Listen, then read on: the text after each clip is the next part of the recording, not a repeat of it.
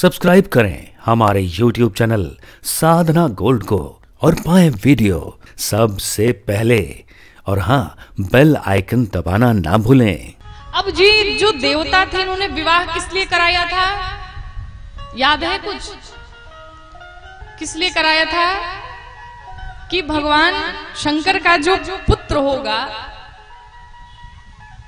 उसी से ताड़कासुर का वध होगा। भगवान शंकर ने सोचा कि तुम लोगों ने जब इतनी चालाकी की कि मेरा विवाह सिर्फ़ एक पुत्र के नाते कराया तो मैं भी इतना जल्दी पुत्र थोड़ी दूँगा। तभी भगवान ताड़कासुर का, भगवान शंकर के पुत्र के रूप में भगवान कार्तिकेय का जन्म हुआ। कार्तिकीय भगवान ने ताड़कासुर का वध किया, सभी देवताओं को उसके त्रास से मुक्त किया।